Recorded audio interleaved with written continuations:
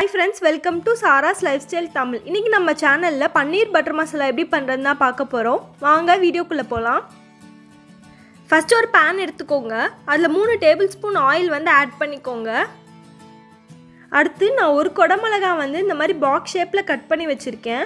அதை வந்து இந்த ஆயில் கூட ஆட் பண்ணி ஒரு டூ மினிட்ஸ் நல்லா ஃப்ரை பண்ணிவிடுங்க இந்த கேப்சிகம் வந்து கொஞ்சம் நல்லா வெந்ததுக்கப்புறம் நான் ஒரு ஆனியன் வந்து அதே மாதிரி பாக்ஸ் பாக்ஸாக கட் பண்ணி வச்சுருக்கேன். அதையும் இது கூட ஆட் பண்ணி நல்லா ஃப்ரை பண்ணிவிடுங்க ரொம்ப நேரம் ஃப்ரை பண்ண வேணாம். ஒரு டூ மினிட்ஸ் வந்து ஃப்ரை பண்ணால் போதும்.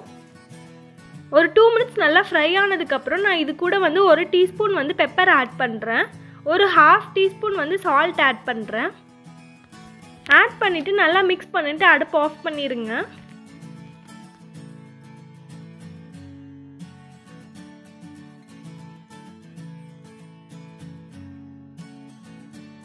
அவ்வளோதான் இதை வந்து நம்ம தனியாக ஒரு பவுலில் மாற்றி வச்சுக்கலாம். இதை நம்ம கடைசியாக தான் ஆட் பண்ண போகிறோம் அடுத்து நம்ம மசாலா வந்து பண்ண ஸ்டார்ட் பண்ணலாம். அதுக்கு ஃபஸ்ட் நான் ஒரு மூணு டேபிள் ஸ்பூன் ஆயில் வந்து அதே பேனில் ஆட் பண்ணிக்கிறேன்.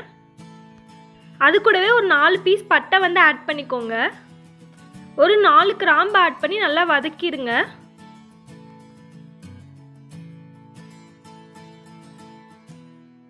அடுத்து அது கூட நான் ஒரு முப்பது சின்ன வெங்காயம் வந்து ஆட் பண்ணுறேன் சின்ன வெங்காயம் இல்லைன்னா ரெண்டு பெரிய வெங்காயம் வந்து குட்டி குட்டியாக கட் பண்ணி நீங்கள் வந்து வறுத்துக்கலாம்.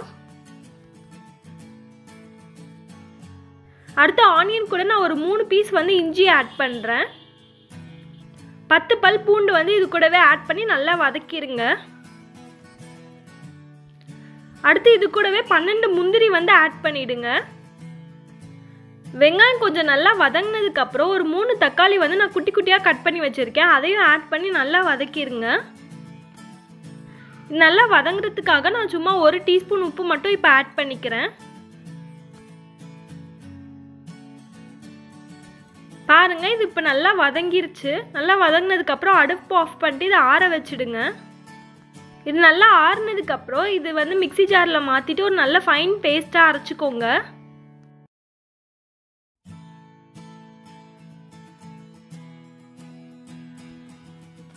பாருங்கள் இது மாதிரி கன்சிஸ்டன்சியில் வந்து நல்லா அரைச்சி எடுத்து வச்சுக்கோங்க. அடுத்து நம்ம பேனில் வந்து ஒரு ரெண்டு டேபிள் ஸ்பூன் பட்டர் வந்து ஆட் பண்ணுறோம் அது கூடவே நான் ஒரு ஆறு டேபிள் ஸ்பூன் ஆயில் வந்து ஆட் பண்ணுறேன் பட்டர் வேணும்னா எக்ஸ்ட்ராவாக ஆட் பண்ணிக்கலாம். பட்டர் வந்து நல்லா டேஸ்ட் கொடுக்கும் இதுக்கு. அடுத்து இது கூட நான் ரெண்டு பிரியாணி இலை வந்து போடுறேன். பிரியாணியில் வந்து கொஞ்சம் நல்லா ஃப்ரை ஆனதுக்கப்புறம் நம்ம அரைச்சி வச்சுருக்க பேஸ்ட்டையும் இது கூடவே ஆட் பண்ணிடுங்க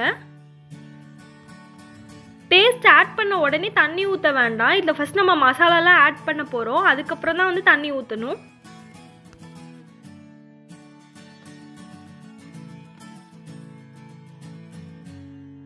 நம்ம மசாலாஸ்லாம் ஆட் பண்ணிக்கலாம். ஃபஸ்ட்டு வந்து நான் ரெண்டு டேபிள் ஸ்பூன் வந்து காஷ்மீரி சில்லி பவுடர் ஆட் பண்ணுறேன் அடுத்து பார்த்தீங்கன்னா ஒரு டேபிள் ஸ்பூன் கரம் மசாலா வந்து ஆட் பண்ணுறேன் இதை நல்லா மிக்ஸ் பண்ணி விட்டுருங்க.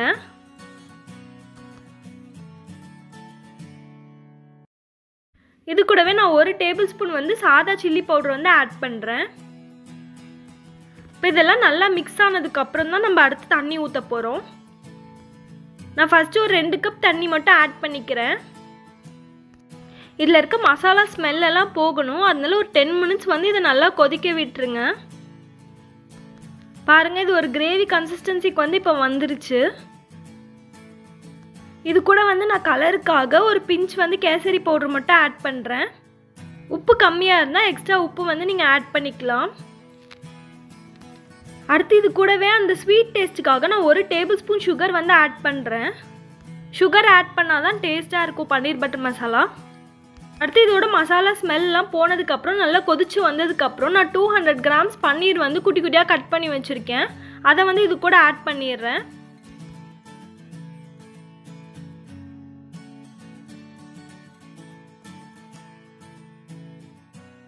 பன்னீர் ஆட் பண்ணிவிட்டு நீங்கள் ஒரு டென் மினிட்ஸ்க்கு மூடி வச்சுருங்க. அப்போ தான் பன்னீருக்குள்ளெல்லாம் அந்த கிரேவி வந்து இறங்கி இருக்கும். அது மட்டும் இல்லாமல் அப்போ தான் பன்னீரும் டேஸ்ட்டாக இருக்கும். டென் மினிட்ஸ்லேயே பன்னீரும் நல்லா வெந்துடும் இப்போ டென் மினிட்ஸ் கழித்து பார்க்கலாம்